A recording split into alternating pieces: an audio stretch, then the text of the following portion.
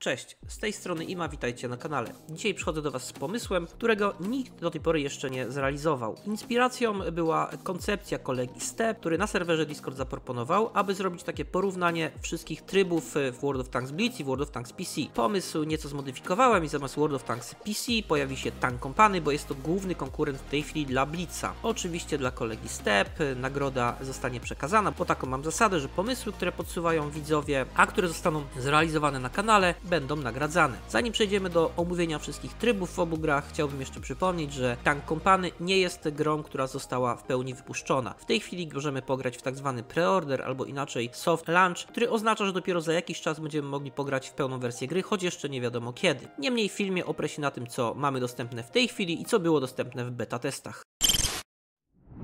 Rozpoczynamy naturalnie od World of Tanks Blitz. Podstawowym trybem gry jest bitwa standardowa, w ramach której możemy grać w dwóch podtypach. Pierwszy to tryb spotkanie, w ramach którego gramy z dowolnymi czołgami tierów 1 do 10, a który charakteryzuje się tym, że na środku mapy mniej więcej znajduje się jedna centralna baza, a naszym celem jest zniszczenie czołgów przeciwnika lub skapowanie, czyli zajęcie tej bazy. Drugą odmianą jest dominacja, czyli tryb, w którym gramy czołgami od 5 do 10 tieru, a podstawowa różnica polega na tym, że zamiast jednej centralnie postawionej bazy mamy dostępne 3 lub 4 umieszczone w różnych częściach mapy. Zajęcie konkretnej bazy powoduje naliczanie punktów, dojście licznika do 100 to oczywiście zwycięstwo. Wygrać więc można na dwa sposoby, niszcząc czołgi przeciwnika lub zdobywając określoną ilość punktów. Alternatywnym trybem dla bitwy standardowej i tych dwóch podrodzajów jest bitwa punktowana. Podstawowa różnica dotyczy matchmakingu, czyli sposobu dobierania drużyn, które w tym trybie powinny być zbalansowane. W bitwie standardowej brany jest pod uwagę tylko rodzaj czołgu i tier, natomiast tutaj także umiejętności graczy, przynajmniej w teorii. Każdy z graczy otrzymuje określony ranking, który jest skalowany przez pierwsze 10 bitew, a potem już wygrywając lub przegrywając podnosimy nasz ranking punktowy, aby móc się przemieszczać pomiędzy ligami. Brązowa, srebrna, złota, diamentowa oznaczają to jak to przegramy. W teorii sam pomysł jest zacny, natomiast w praktyce problem polega na tym, że bardzo niewielu graczy gra w tym trybie, w związku z czym jest on dość mocno zaburzony. Zarówno teamy nie są specjalnie zbalansowane, aby móc przejść do ligi diamentowej, wystarczy rozegrać odpowiednio dużą liczbę bitew, niezależnie od tego jak dobrym czy złym graczem jesteśmy i tak wcześniej czy później tam dotrzemy. Kolejny rodzaj bitwy to tak zwana bitwa treningowa, czy też inaczej pokój treningowy. W ramach tej możliwości możecie ustawić sobie dowolnie bitwę, zaplanować ją na mapie, zaprosić użytkowników, określić różnego rodzaju parametry i rozegrać bitwę według własnych zasad. Jest to opcja szczególnie wygodna w przypadku poznawania mapy, robienia różnego rodzaju mini turniej i zabawy z innymi uczestnikami. Następny tryb to bitwy turniejowe i tutaj Blitz ma dość sporo do powiedzenia, ponieważ Wargaming bardzo mocno dba o to, aby te bitwy były urozmaicone, ciekawe i wraz z nagrodami. Możemy grać w różnych trybach, które zmieniają się co określony czas, więc nie będę omawiał wszystkich po kolei, było ich już bardzo wiele od początku Blitza. Zawsze są bitwy, które możemy określić jako profesjonalne, w których biorą udział drużyny nastawione na rywalizację sportową, e-sportową oraz bardziej casualowe turnieje dla wszystkich graczy, wszystkich klanów. Za udział w bitwach turniejowych otrzymujemy określone waluty, które pozwalają nam później dokonywać zakupów w sklepie. Turnieje są również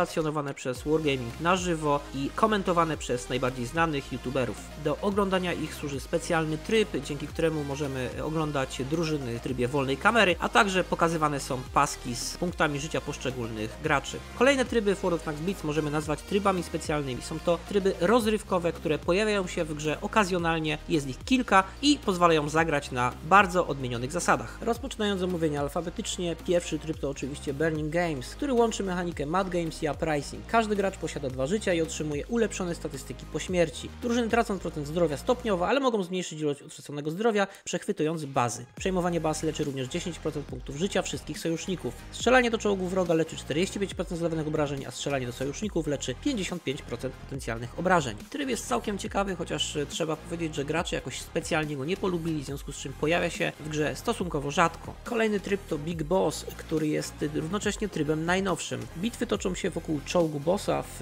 obu drużynach. Każdy z teamów ma za zadanie zdobyć 30 punktów przed zakończeniem bitwy. Boss jest wybierany losowo na początku gry i ma 3 życia wraz z dwoma pasywnymi zdolnościami i aktywną zdolnością. To co drugi czołg otrzymuje jeden z następujących modułów: Graviton, Catalyst, Regenerator lub Bomber. Zabicie normalnego czołgu daje twojej drużynie 1 punkt, podczas gdy zabicie bossa daje 5 punktów. Boss jest bardzo mocno wypasiony, inni gracze powinni go w teorii przynajmniej chronić. Posiada on dużą moc oraz dużo punktów życia. Ten tryb to prawdziwa rzeźnia. Na mapie dzieje się bardzo dużo, a ponieważ gracze wiedzą, że mogą się odradzać wielokrotnie, nie mają znaczenia różnego rodzaju taktyki, po prostu totalna rzeźnia. Tryb został ogólnie pozytywnie przyjęty, aczkolwiek jest bardzo chaotyczny i powoduje mnóstwo zawirowań na mapie. Cztery typy klasy, które możemy przyjąć są dość ciekawe, szczególnie Graviton, która pozwala ściągnąć przeciwników w jedno miejsce, co ułatwia ich ostrzeliwanie. Również Bomber jest dość ciekawą sprawą, ponieważ wybuchający nasz czołg to dość unikalne rozwiązanie. Tryb bazuje na mechanikach z poprzednich rozwiązań, innych trybów, natomiast jest dość ciekawy. Kolejny typ to grawitacja, czy też Gravity Mode, który charakteryzuje fizyka księżycowa, czyli mamy zmniejszoną grawitację, dzięki której możemy skakać, latać wysoko i robić różnego rodzaju sztuczki. Czołgi wyposażone są w specjalny materiał eksploatacyjny o nazwie Thruster, który po aktywacji pcha czołg w górę, wystrzeliwuje go niejako w powietrze. Wysokość, na którą jest zostajesz wypchnięty, zależy od wagi czołgu i jego prędkości. Dodatkowo czołgi są odchylane przez odrzut i doświadczają odrzutu podczas strzału, którego siła również zależy od wagi i kalibru armaty. A do tego jeszcze czołgi zadają zwiększone obrażenia taranujące. Tryb posiada swoją specjalną mapę, ale oprócz tego gramy też na mapach World of Tanks Blitz. Kolejny tryb to Mad Games, w którym czołgi mają różne pokręcone atuty umiejętności, które urozmaicają rozgrywkę. Ten tryb dodał również nową mapę tylko dla wydarzenia zwaną pustkowiami, czyli Wasteland. Generalnie jest bardzo podobny do Burning Games, w związku z czym nie będę się tutaj rozwodził, natomiast oprócz dodatkowych elementów mieliśmy ciekawie zakrojoną kampanię reklamową w przypadku wprowadzenia tego typu rozgrywki. Realistic Battles, czyli bitwy realistyczne, to bardzo hardkorowy tryb o podwyższonym poziomie trudności, w którym bitwy koncentrują się na realizmie właśnie. Wskaźnik penetracji jest wyłączony, a znaczniki ukryte, chyba że celownik znajduje się bezpośrednio na czołgu przeciwnika. Krzaki i ukrycie są ignorowane, podczas gdy zasięg widzenia jest nieograniczony, co oznacza, że czołgi zostaną zauważone tylko w linii wzroku. Pociski zawsze zadają średnie uszkodzenia i mają stałą penetrację. Jakkolwiek tryb bitew realistyczny jest niezwykle ciekawy, ponieważ pozwala nam grać w sposób, który nie jest dostępny nawet w World of Tanks PC, to gracze z pewnym dystansem przyjęli ten sposób rozgrywki. Zapewne spowodowane jest to faktem, że gra w tym trybie jest trudna, wymaga dużego skupienia, czołgi nie podświetlają się na czerwono, więc musimy je wypatrywać. Kamuflaż również nie ma żadnego znaczenia, ani też spotowanie, więc nie jest łatwo. A żeby przebić, trzeba wiedzieć dokładnie, gdzie strzelać, gdzie są ich spoty, etc. Większość graczy, jak zapewne wiecie, World of Tanks Beats kompletnie nie ogarnia, w związku z czym oczywiste jest, że trybu realistycznego nie będą ogarniać jeszcze bardziej, więc nie będą też chętni do gry w tym trybie. Jednak sam pomysł na tryb specjalny w tej formie jest naprawdę świetny. Niestety ograniczenia gry oraz kierowanie jej do graczy najmłodszych, skrajne upraszczanie powodują, że tak dobre tryby nie mają przełożenia na zainteresowanie graczy. Kolejny niedawno wprowadzony tryb to tak zwany skirmish, czyli potyczka. Tryb, w którym wszystkie mapy zostały zmniejszone, a ty walczysz w drużynie z pięcioma graczami przeciwko analogicznej drużynie przeciwnej. Przechwytywanie bazy jest znacznie przyspieszone, a fragment mapy, na którym gramy jest bardzo niewielki. Generalnie ten tryb przyspiesza rozgrywkę jeszcze bardziej, w założeniu miał mieć charakter edukacyjny, w praktyce jest kompletnie pozbawiony sensu, bo mapy Blitza są i tak bardzo małe, więc obcięcie ich do połowy nie ma większego sensu. Niemniej Wargaming stwierdził, że tego typu uproszczenia się graczom spodobają i prawdopodobnie tak jest i się podobają. Ostatni tryb to Uprising, czyli odrodzenie. W mojej ocenie jest to najciekawszy tryb, który daje najwięcej możliwości, a jego dodatkową zaletą jest to, że pozwala bardzo dużo zarabiać oraz przyspiesza grindowanie linii. Jest to tryb podobny do Mad Games, ale z motywem halloweenowym. Każdy czołg ma określoną umiejętność, którą można wykorzystać podczas bitwy. Gracze gromadzą punkty przez cały mecz za zadawanie obrażeń, niszczenie czołgów, a także nabijają się one co sekundę. Punkty te można następnie wydać po śmierci, gdzie gracz otrzymuje możliwość wybrania pośród trzech opcji o różnych cenach. Atuty obejmują m.in. większe obrażenia, większe prędkości, silniejsze tarany, aż do wybuchających pocisków i podwójnego strzału. Gracze mogą kupić więcej niż jeden atut, jeśli mają niezbędną ilość punktów. Wszyscy gracze mają trzy życia, co bardzo wydłuża rozgrywkę. Jest to powtarzający się tryb, zwykle dostępny w okolicach Halloween, ale nie tylko. Gracze bardzo lubią ten tryb i w niedawnej ankiecie został uznany za jeden z najfajniejszych i najciekawszych w grze. A teraz przechodzimy do Tank Company.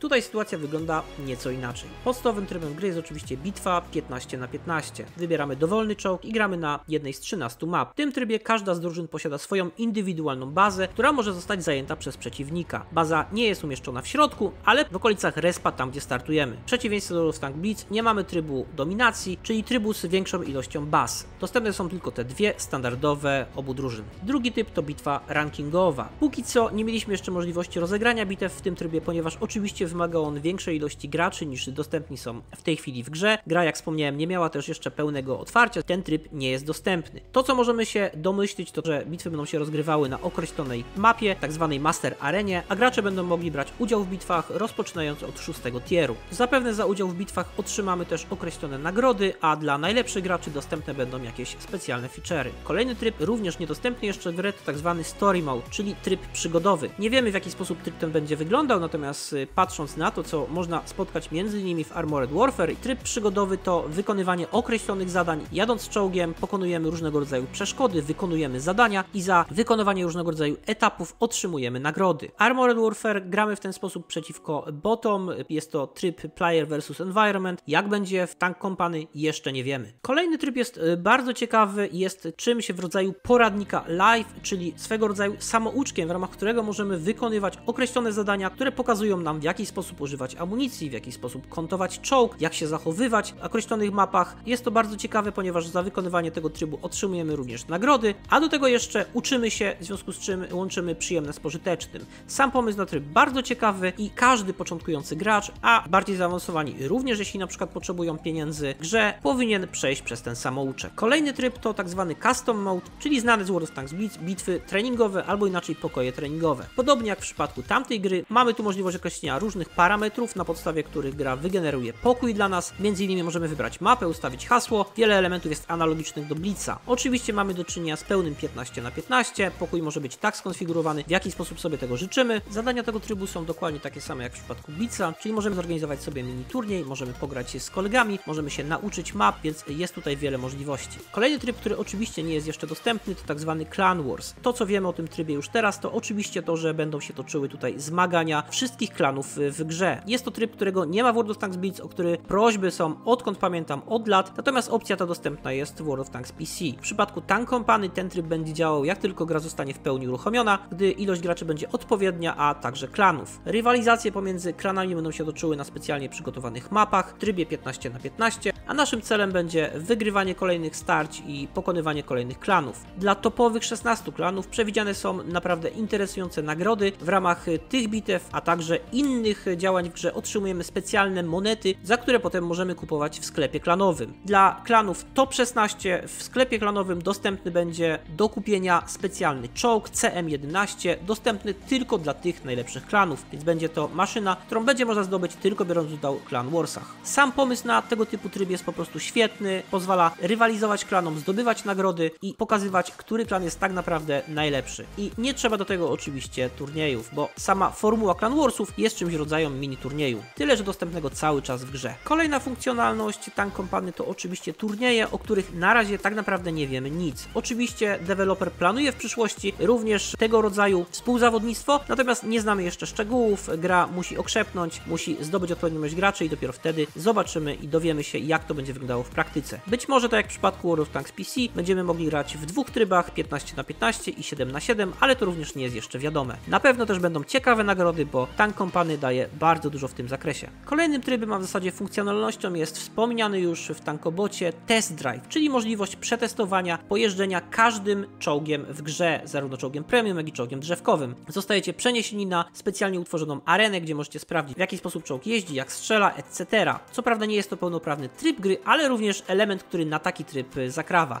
Dodatkowo jest to doskonała funkcjonalność, której od lat brakuje w World of Tanks Blitz i World of Tanks PC. Kolejne tryby w grze to tak zwane tryby entertainment, czyli rozrywkowe. Są to odpowiedniki trybów specjalnych z World of Tanks Blitz. To, co odróżnia te tryby od tych z World of Tanks Blitz, to, że w większości dzieją się na specjalnie przygotowanych arenach i mapach. W tej chwili dostępne są trzy, a tak naprawdę cztery, choć trzy są wymienione w grze. Pierwszy to Surf Mode, czyli tryb surfowania. Jak sama nazwa wskazuje, nasz czołg zamieniany jest w amfibię, a podczas wyścigu, w którym rywalizujemy z pięcioma innymi graczami, poruszamy się zarówno po terenie suchym, jak i po wodzie, gdzie nasza amfibia zachowuje się oczywiście zupełnie inaczej niż na lądzie. Jest bardzo bezwładna, podsterowna i manipulowanie nią nie jest prostą sprawą. Pokonujemy wyznaczoną trasę z różnymi przeszkadzajkami, elementami. Musimy się mieścić pomiędzy chorągiewkami, co wcale nie jest takie proste i czy nieraz nie jest łatwo trafić. Sam tryb jest pomysłowy i pozwala się troszkę nacieszyć grą w zupełnie inny sposób, innych warunkach niż dotychczas. Oczywiście w tym trybie za zwycięstwo za udział również otrzymujemy ekstra nagrody. Kolejny tryb doskonale znamy z World of Tanks Blitz, jest to tryb Gravity Mode, czyli grawitacji, praktycznie rzecz biorąc przeniesiony jeden do jednego z Blitza. Na księżycowej mapie, na której pozbawieni jesteśmy grawitacji znanej z Ziemi, możemy skakać, robić różnego rodzaju fikołki i musimy naparzać się z innymi czołgami. Sprawa prosta, znana doskonale z Blitza, tutaj również fajnie zrealizowana, za udział w trybie oczywiście specjalne nagrody, a zabawa jest przednia. Wiecie czym jest czołgowy biatlon? Otóż jest to dyscyplina, która istnieje w rzeczywistości. Tank Company postanowiło pójść w tę stronę i przygotować dla nas wyścigi czołgów określone w dwóch parametrach. Po pierwsze, musimy jechać bardzo szybko, a po drugie musimy się zatrzymywać, aby strzelać w określone miejsca i cele. Sam wyścig odbywa się na specjalnie przygotowanej mapie, która zawiera różnego rodzaju przeszkody terenowe, a także ruchome i stałe cele. Poszczególne etapy wyznaczone są specjalnymi niebieskimi markerami, więc zawsze wiemy, gdzie się udać i w jaki sposób jechać. Na naszej trasie znajdują się różnego rodzaju przeszkadzajki. Są to zarówno doły, jak i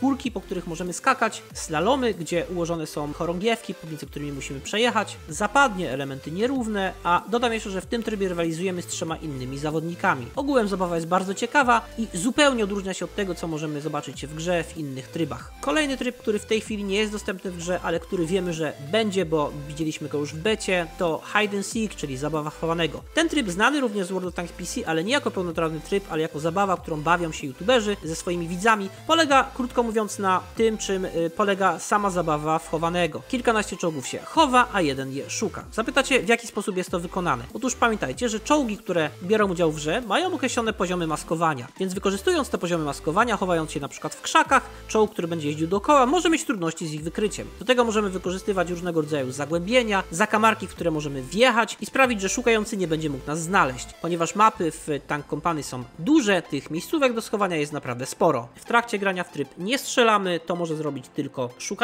natomiast my, jako ci, którzy się chowają, mamy za zadanie nie ruszać się, stać cichutko i nie dać się znaleźć. Tryb wydaje się statyczny, ale wbrew pozorom sprawia całkiem sporo frajdy i jest taką ciekawą odskocznią od dynamicznych bitew. Czy to już wszystkie tryby specjalne, rozrywkowe w Tank Company? Oczywiście nie. Deweloper cały czas pracuje nad dodaniem nowych funkcjonalności, w związku z czym zapewne także tutaj będziemy co jakiś czas widzieć nowe elementy. To już chyba wszystkie tryby, które możecie spotkać w obu grach. Podzielcie się w komentarzach swoimi opiniami, które tryby lubicie najbardziej w World of Tanks Beats i w Tank Company. To tyle na dziś, trzymajcie się, cześć!